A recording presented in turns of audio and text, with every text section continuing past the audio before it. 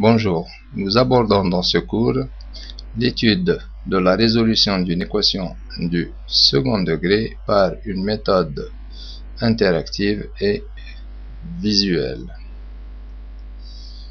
Pour cela, j'ai écrit une applet Java et cette applet Java que vous voyez ici est divisée en deux parties. Une partie gauche qui concerne la commande des objets mathématiques et la partie de droite qui visualise ces mêmes objets.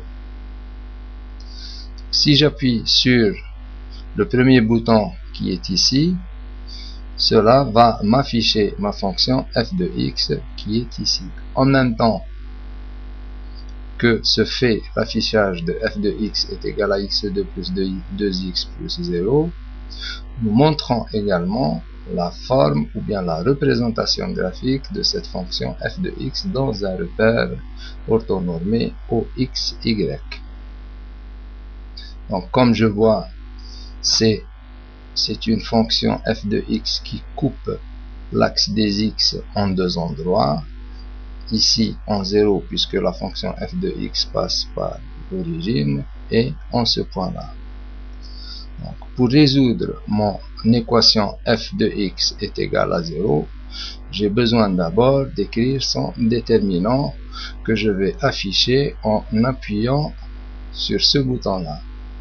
Donc, il s'affiche delta est égal à 4, puisque delta, le déterminant delta est égal à b carré, c'est-à-dire 2 au carré, moins 4 fois ac, qui est 0. Donc, delta est égal à 4. Je peux aussi afficher les racines de l'équation f de x égale 0 en cliquant sur ce bouton-là.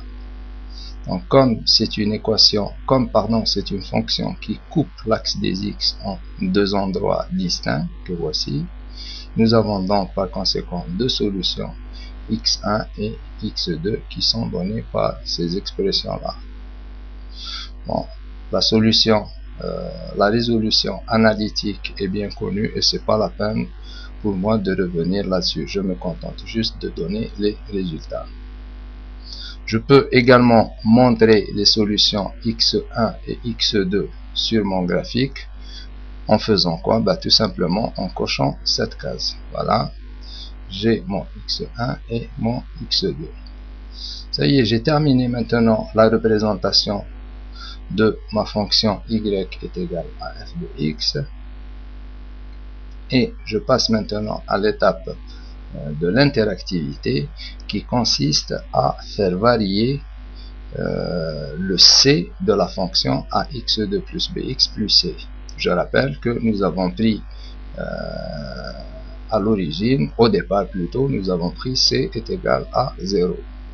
Qu'est-ce qui se passe maintenant pour ma fonction lorsque C prend une valeur autre que 0, lorsque C prend une valeur positive. Ben, pour cela, j'ai associé la variation de C à la variation de la position de l'ascenseur ici, qui est une scroll bar. Donc, en cliquant sur ma scroll bar, sur mon ascenseur, je donne une valeur non nulle à C. Je fais varier, autrement dit, je fais varier A, je fais varier C. Donc cette valeur de l'ascenseur par exemple correspond à C est égal à 0,1. Et bien entendu, delta se voit varier qui prend euh, la valeur ici 3,6 et bien entendu aussi x1 et x2 prennent les valeurs associées. Donc qu'est-ce que je vois maintenant en augmentant encore la valeur de C?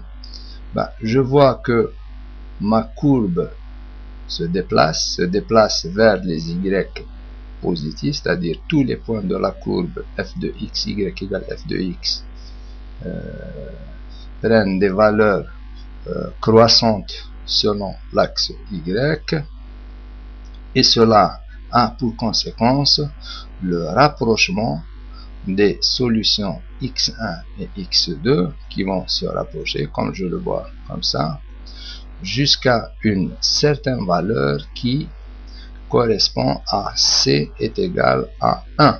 Voilà. Quand C est égal à 1, mes deux solutions x1 et x2 se confondent. Et je vois effectivement que quand c est égal à 1, ma fonction f de x qui est ici peut aussi s'écrire sous la forme x plus 1 au carré.